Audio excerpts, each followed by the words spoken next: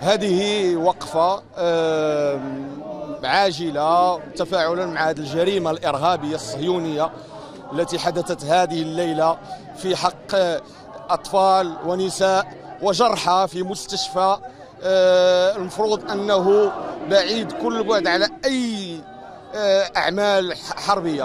هذه الجريمة يتحمل مسؤوليتها أولا الكيان الصهيوني المجرم وهو دليل على أنه ليس بدولة وإنما هو عصابة إجرامية وإلى زوال تتحمل مسؤوليتها أمريكا والدول الغربية التي تغطي على هذه الجرائم.